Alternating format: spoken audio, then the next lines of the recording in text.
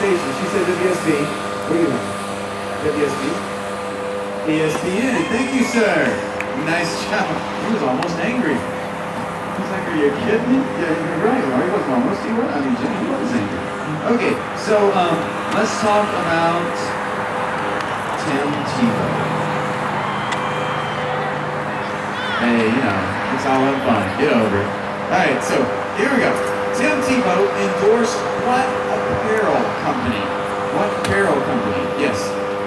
Jockey is correct. Yes, ma'am. Nobody ever gets that. I'm impressed.